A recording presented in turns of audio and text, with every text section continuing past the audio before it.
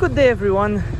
Here's an unplanned video which I made for you guys because essentially I found a problem after I changed the rear brakes on the Kia.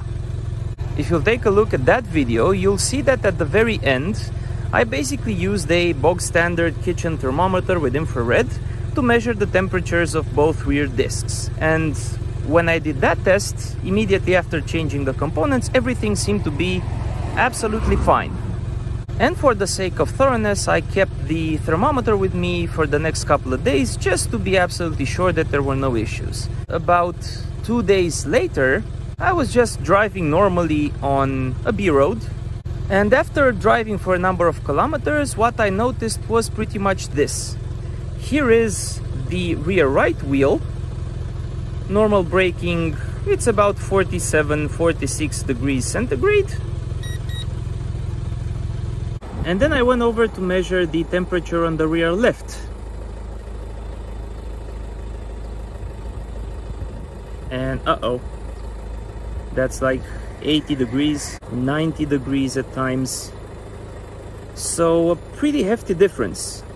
90 degrees on one side and about 47 46 degrees on the other. And that got me worried.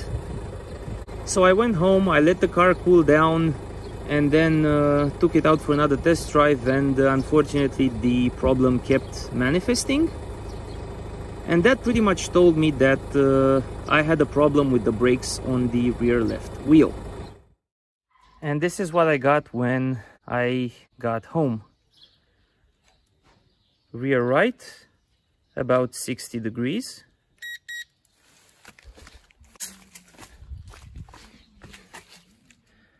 Rear left about 74 going up to 80 and so on. So clearly a difference. And because I already have experience with a overheated rear brake disc on the Range Rover this is obviously a problem that I won't just uh, ignore. I'm not gonna make any initial assumptions I'll just start investigating the issue and I'm curious to figure out what the culprit is. Now, obviously, you already know what the culprit is from the video description, but at the time of filming, uh, I did not. So stick around because uh, this is probably gonna end up being a very interesting video. We begin with the safety stuff first. So on the rear left wheel, we have both a jack as well as a jack stand and at the front I've chocked the wheels because obviously the handbrake is going to be off. And immediately looking at the color of the disc you can see at the bottom there's some discoloration from the overheating. Because if you take a look on the right hand side which doesn't have any problem the color of the rotor is gray uniform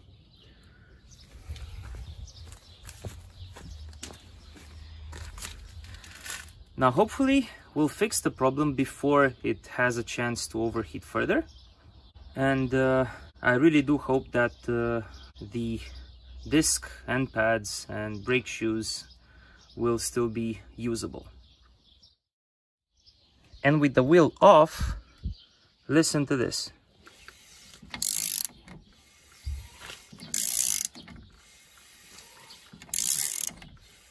Okay so you can definitely hear the grinding.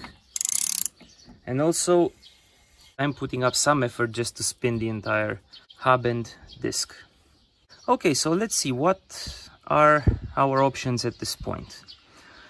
Well I can think of two main culprits for now. Number one a problem between the rotor and the pads. The caliper maybe the caliper piston or something like that. Number two a problem between the rotor and the handbrake shoes inside. I'm gonna rule out problems with the wheel hub itself because when I was installing the new disc I did check the hub and the hub had minimal rolling resistance so the hub is fine. So how to decide between the two? Well let's just remove the entire caliper plus pads plus caliper bracket assembly using the two bolts at the back the one over there and the one further down. 14 millimeter hex. It's basically the same procedure that I did when actually installing the rear rotors. So what's the rationale behind this action? Well, it's pretty simple. If we remove the caliper and pads and everything and the resistance goes away, obviously the source of the problem has to do with the pads and caliper. However, if the resistance is still there, obviously the problem is between the rotor and the handbrake shoes. So let's get to it.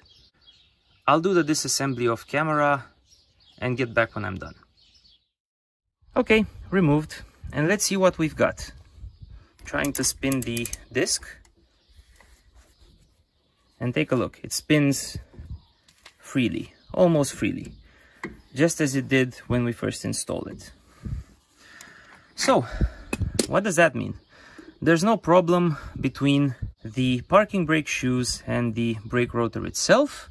The adjustment was correct. The bedding in was also correct. So this part is all right. No need to disassemble any further. So then let's focus our attention on the caliper and pads. First quick check, let's see if the caliper actually slides well. And let's just take a look at what happens at the top and bottom when I press on it.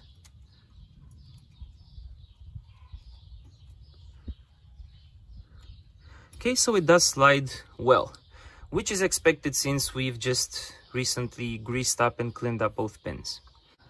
Let's now disassemble the caliper from the caliper bracket and move forward from there. Here are the parts. Now let's first take a look at the caliper bracket. So, the two pins.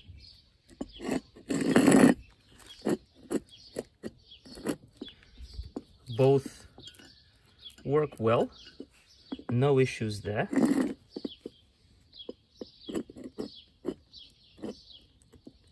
Okay. And the pads slide very easily on the shims. Both of them see now this in principle was expected because when we did change the rear brakes a while back we made sure to grease and clean up the pins and the shims were also greased. So we know this is not part of the problem, which pretty much leaves us with one suspect, which is the caliper itself. And come to think of it, it kind of makes sense that it's the caliper.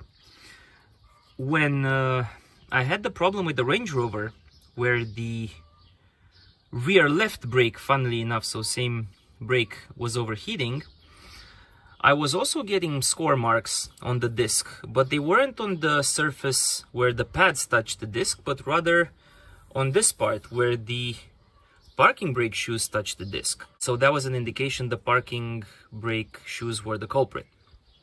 Now here the scoring is on the surface of the disc, which pretty much confirms that the problem has to do with the caliper because the pads, as I said earlier, are not stuck in any way. And looking at the caliper itself, it's, it, it seems to be in uh, not so good a shape. Okay, so the inside of the piston is pretty rusted. It's rusted worse than its counterpart on the right side, which I think is visible in the rear brake installation video. But also note something else. Take a look in here and you see that the rubber is pinched and on this side it's pretty old and it's about to crack or it hasn't cracked already so what does this mean we have no idea when the pinching occurred but through that pinch it's highly likely that humidity moisture grime etc got in and this usually leads to internal rust of the caliper or of the caliper piston which in both cases translate to either a difficulty in moving the piston or the piston getting stuck altogether. And I also seem to recall, though I didn't give it too much importance back, uh, back then, that I needed more force on the C-clamp to push this piston in than I needed on the right hand side. And let's see one more thing. I've asked uh, my lady to help me out to press the brakes a couple of times to see how the piston behaves when brake force is applied. So let's see what happens. Go ahead and uh, press, please. Okay. One more time. Okay, stop. Thank you. Look at that. Okay, look at that. Okay, this is how the piston was, or I think it was even more expanded when we removed the old brakes because the pads were so thin. And this hole is so big that it's virtually guaranteed that stuff got in and uh, we have rust inside. Okay, so with that said, we need to now remove the caliper from the car and inspect it further. And we will start by disconnecting the brake fluid line from the caliper. Now this is held in place with one bolt, which is over here, which is a 12 mil hex. But before actually doing that, we need to consider that once we disconnect this bolt, the brake fluid from the line is just going to start dripping. And because this is among the lowest points in the car, given enough time, all brake fluid is going to get out from the car and get on the floor, which is pretty bad given its toxicity. So first things first, we need to clamp this hose to make sure no brake fluid drips. And the best way to do that is to use one of these plastic pliers, which are specifically designed for clamping hoses, in that they keep them shut but they don't damage the hoses themselves. You can easily find a set of these at, I don't know, about 10 euros, give or take, and it's well worth the money. But if you don't have one of these, alternatively, you can just use a normal pair of pliers, but make sure to cover both heads with some uh, thicker cardboard or something, so that you don't have the metal itself clamping on the hose. With that done, let's disconnect the caliper. I've also put a jar underneath the connecting point to catch any dripping uh, fluid. Let's see. Okay. I slacken it off and I can remove it by hand though strongly recommend you wear a pair of gloves at this point. There should only be very little brake fluid if the clamping of the hose has been done properly. So let's see what we get.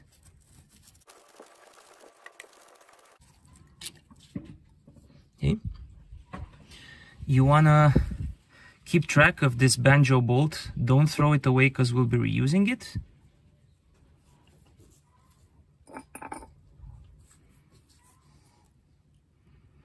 and then gently pull the cable out as you can see there's very little fluid dripping so it means that we've tightened the hose well. We're just gonna leave it here. You can secure it if you want. Now this procedure should be done ideally with the caliper in its place so you can apply proper leverage to the banjo bolt. And once that is done, simply remove the caliper from its two sliding pins. Exactly the same procedure that I used when I changed the rear discs. So I will do that off camera. One bolt is out. Here's the second one out. You can hold on to the caliper at this point to make sure it doesn't fall, but mine is secure. And then just gently pull it out. You can leave the pads there, no problem.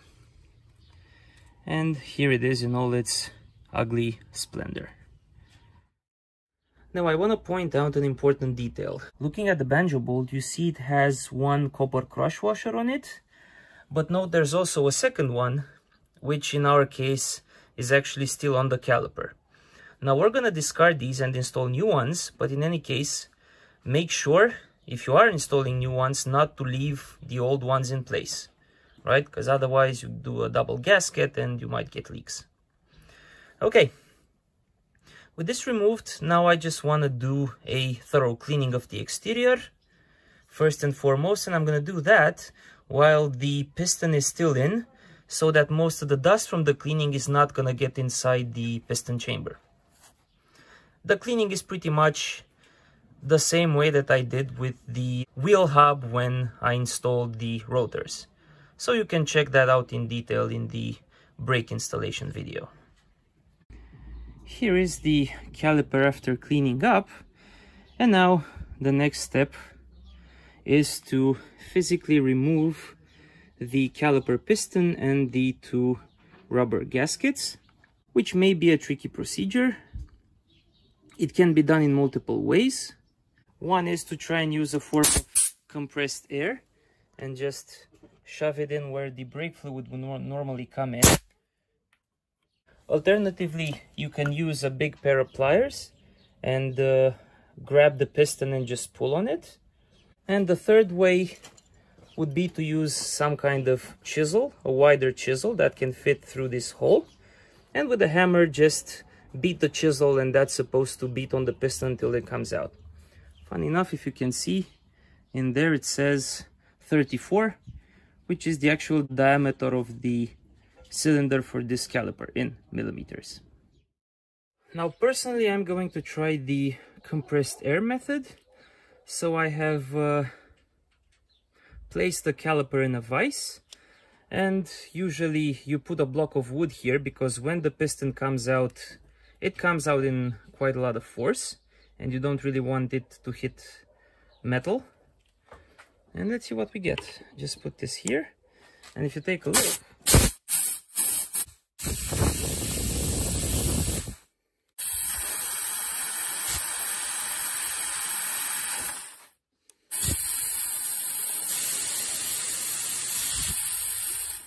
and it appears uh, this method has only taken us so far because the rubber is busted. I seem to be losing pressure through those holes so no point in continuing like this. I'm not making any more progress. So I'm gonna switch to a pair of pliers. Big pliers. And just start pulling it side to side and upwards slowly until eventually it comes out. And the pliers also worked well up to a point when I was getting increasingly hard resistance. So I ended up using the third method, which was a big hammer and a chisel or an equivalent. Just take a look at what it did to the nose of the thing. But anyways, I managed to beat it from here and after a while, the piston came out. So let's check the state of the piston. We don't mind having scratched it all the way because we're to replace it anyways. Let's see how it looks like. Yeah, wow, okay. That's pretty rusty. And down here as well. Yeah, so clearly this is a clear indication that this was due replacing. And now we should also be able to remove this old anti-dust seal, which I just removed by hand. Look at its state. So clearly there was rust inside. And now if you take a look inside the caliper itself, you see this black line here. This is the part which typically fails every time a caliper piston gets stuck. This rubber o-ring here, its section is squared, if I'm not mistaken. And basically what this part does, it does two things. Number one, it seals the inside of the caliper from the outside so that brake fluid doesn't come out. And it also acts as a return spring for the piston. Whenever you release the brake pedal and the piston has to go back just a little bit to uh, release the pressure on the uh, pads. And what usually happens is when the piston itself rusts or gets damaged, it also damages this rubber to the point where it either no longer seals properly and then water humidity gets in and accelerates the rust, or it simply no longer fulfills its piston return function, which I think is part of what's happened here. So we need to remove that rubber as well. And here it is removed. You see what I mean? Its uh, section is a square. So this is the main culprit. And at this point, we're ready to start the rebuild, which, as always, is going to start with a very, very, very thorough cleaning of the inside of the caliper. All the rust or the dust needs to get out.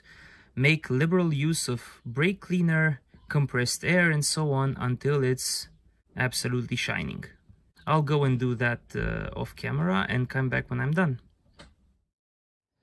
About one hour later and quite a lot of work, this is how it turned out. I managed pretty much to reach every crevice, every part where one of the gaskets has to sit. It was pretty rusty, but it looks fairly alright now. And to get all this done, my main tool was a Dremel with any kind of number of heads, from brushes to metal brushes to polishing heads, thicker or thinner, as well as some finer grain sandpaper. This was a 240 and it was pretty good, but you can try even finer grained if you want. But ultimately I'm pretty, pretty happy with the results. So now let's move on to installing new parts. And here's what we have for the repair part. We have the cleaned up caliper. We have the new parts, which are original equipment. This is the inner seal. This is the outer seal to protect from dust. This is the new piston. Right here. We also have brake fluid. This is exactly the same brake fluid that the car is currently using now. I changed the brake fluid on the Kia about a year ago. Unfortunately, I didn't uh, film the procedure, but it's pretty similar to what I've done on the Range Rover. Anyways, I'm using ATE Typ 200 Type 200 brake fluid, dot 4. And we also have our old parts to make sure that the new parts are the correct size and specification. Also, I'm working on a rubber surface because I might spill brake fluid. We're going to be using brake fluid to lubricate the inner seal. And you really don't want that thing uh, to seep down into, I don't know, your working table, furniture, whatever. And right away, here's something interesting.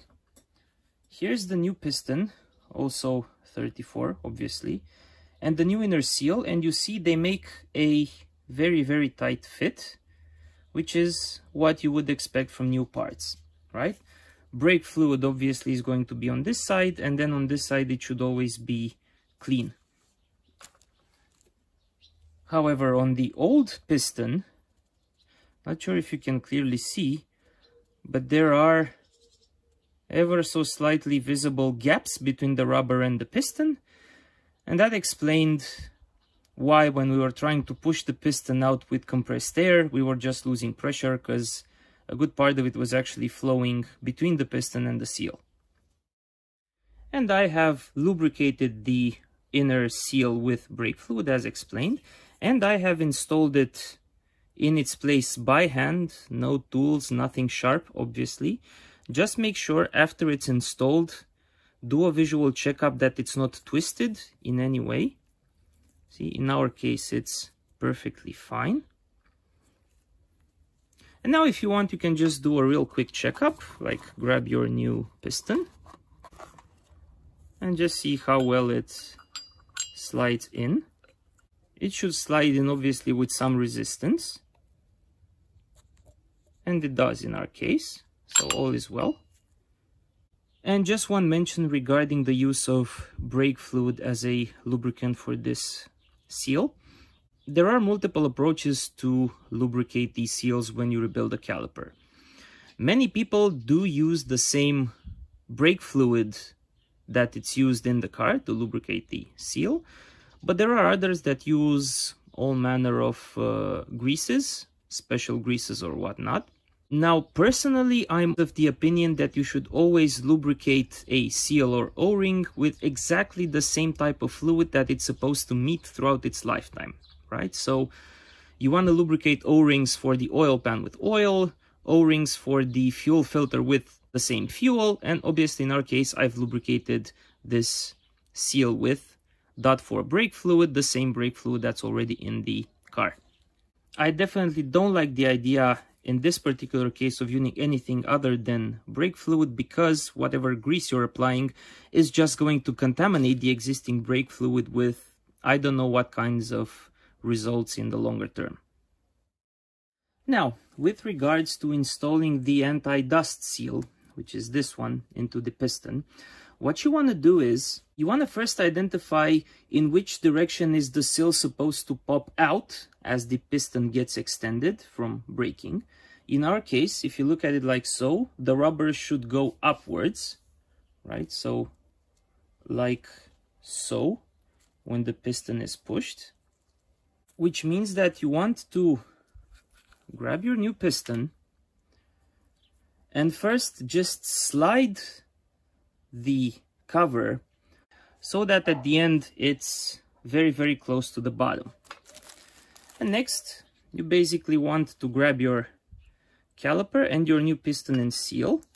Position the piston correctly and then gently make sure that this part this lowest part of the dust seal is properly inserted in its final position, which is this hidden row over here, ideally try to use either your fingers or some flat tools, making sure that you don't pierce the rubber as you push it into position. What I found easiest is actually to extend this rubber part a little bit below the piston and with a little bit of effort I managed to put it in position. Now I just need to push the piston ever so slightly until it goes flush against the inner seal, like so. And then I should be able to start pushing it a bit. Like so. And see, it's basically in position right now. At this point, what you want to do, just gently pull on the outer rubber as best you can and do a visual checkup that everything is sitting flush. But other than that, the installation of the piston is pretty much done. Now back at the car with our newly refurbished caliper. We want to now install it in its correct position. So we have our two bolts. We apply medium strength thread locker.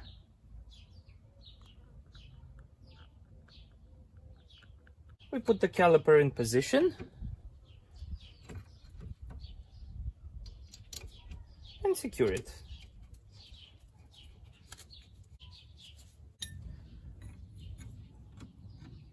Tighten the bolts as much as you can by hand.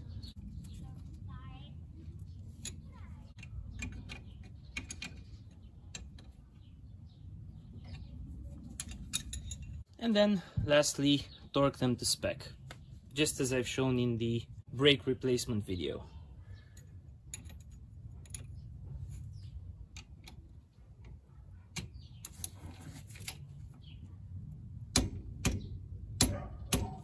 That's one.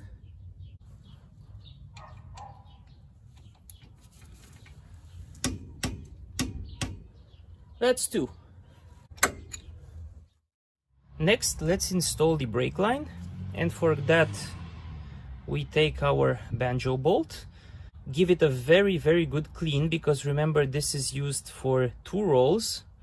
One is to actually hold the brake line in place, but the second one is to actually allow brake fluid to pass through. See, it has this hole here, and then this other one here. So it's very important that this thing is properly clean. Go ahead and use brake cleaner, not brake fluid as much as needed to make sure that the passage of the brake fluid is unobstructed. And what you do is you take your bolt, you take one of the two new crush washers and you put it over the bolt. You then take your brake line, you put the bolt through the brake line with the bolt's head being opposite the brake line's tip that you see here. Then you take your second crush washer put it over the bolt on the other side. And then you need to tighten the bolt in its correct position, making sure that the notch is inside the caliper. And the tightening torque for this bolt is between uh, 24.5 and 29.4 newton meters. I've chosen about 28, 28.5 and using my torque wrench and a Crowfoot extension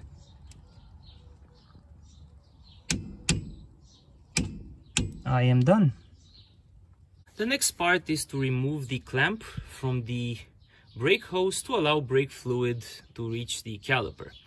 However, obviously do note that at least in this part of the hose, you now have a big bubble of air. You may have even more if the clamp hasn't been properly tightened.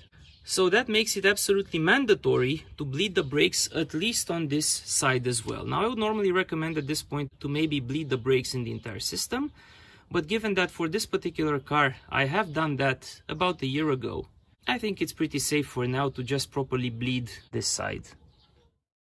So here is our setup, the 10mm hex key is in place and we have our one-way valve. And then the hose goes into a small jar.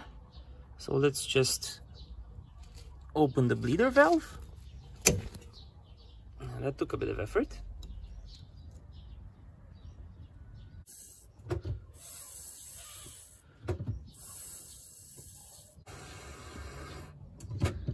we did manage to remove that big bubble of air so now it seems we're pretty good okay you can stop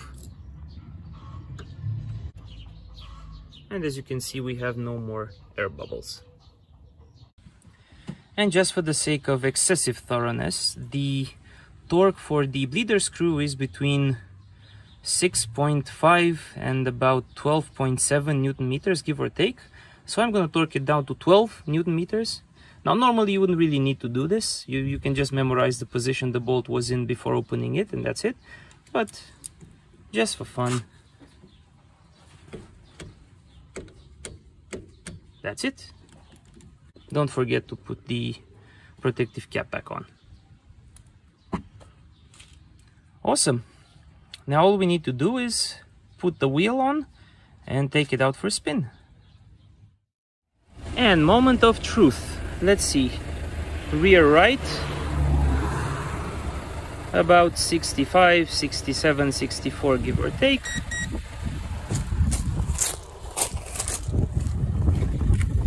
And rear left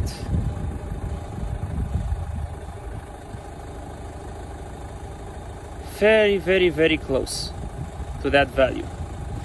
Another check a few kilometers down the road rear right is about 70 71 72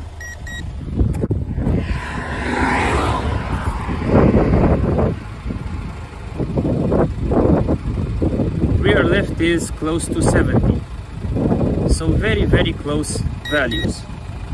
So that's very good news. We no longer have that huge temperature difference that we saw before which pretty much means that the problem is solved and lastly it's conclusion time. It's been about two weeks since i uh, rebuilt the caliper and the feedback that i got from my dad has actually been better than what i expected. He actually drove the car for a couple of hundred miles, and the main thing he noticed was a clear reduction in fuel consumption.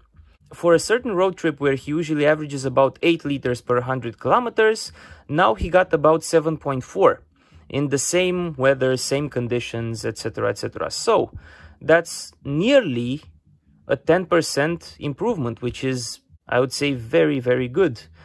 But it also means that for a good while now, the car has actually been driven with a dragging rear left brake. So it's very good that uh, I got a chance to do this repair. Regarding the cost part, I was actually able to purchase genuine parts, as I said earlier.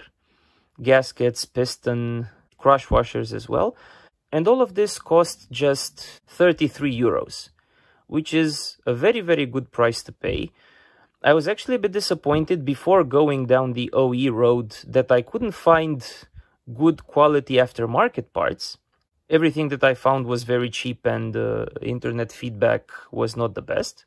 Now, I don't really know how much it would have cost to rebuild the caliper at the Kia dealer. I know they actually did it for the rear right wheel about a year ago, give or take. But I know that the brand new caliper was about 270 euros excluding the labor cost. A caliper rebuild obviously would have been cheaper, but I don't uh, actually have a number. And with that said, thank you very much for watching. If you've liked this video, please consider subscribing. I would be very grateful. Have a lovely day and I will see you all next time. Take care and goodbye.